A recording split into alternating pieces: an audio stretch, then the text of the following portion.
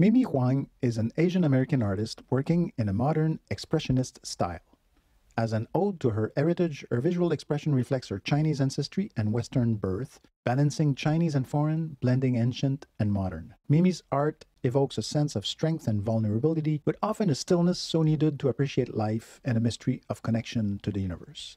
Mimi is active in community, serving on the board of Timucua Arts Foundation since 2019, currently as vice chair. Mimi is also president and founder of Jonesy Collective, Inc., a Central Florida 501c3 dedicated to the arts in tribute to her son, Alex Hwang Jones. Mimi serves on the Fusion Fest steer committee, is part of the Beaux-Arts group and Mecre Art Studios.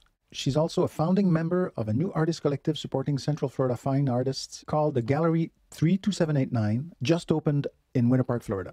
Find her on Instagram at mimi.hwang.artist.